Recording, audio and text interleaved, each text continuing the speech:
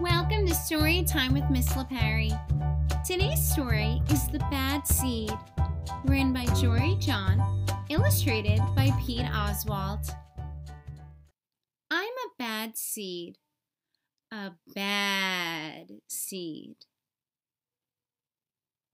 Oh, yeah, it's true.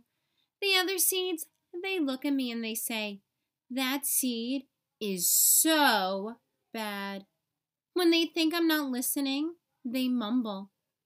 There goes a bad seed. But I can hear them. I have good hearing for a seed. How bad am I? You really want to know?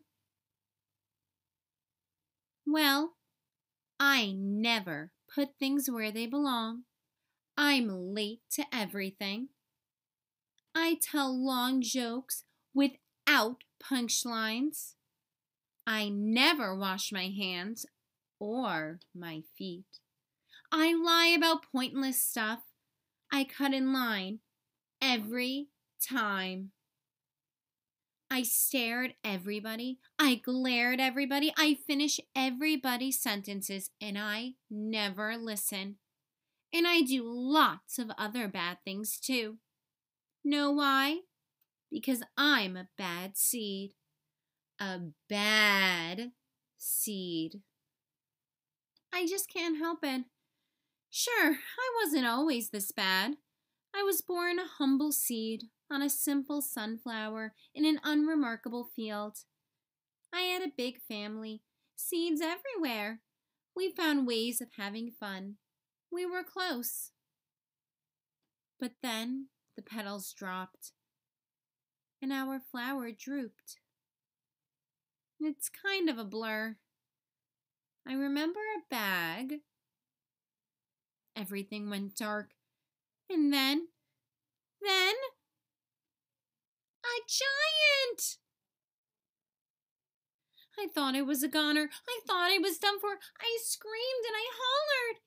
Ah! But Phew. But I was spit out at the last possible second. I flew through the air and I landed under the bleachers with a huge thud.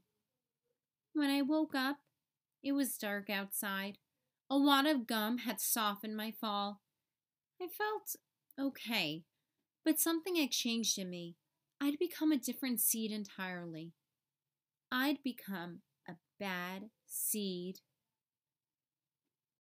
a bad seed. That's right. I stopped smiling. I kept to myself. I drifted. I was friend to nobody and bad to everybody. I was lost on purpose. I lived inside a soda can. I didn't care, and it suited me. Until recently, I've made a big decision. I've decided I don't want to be a bad seed anymore. I'm ready to be happy. It's hard to be good when you're so used to being bad, but I'm trying. I'm taking it one day at a time.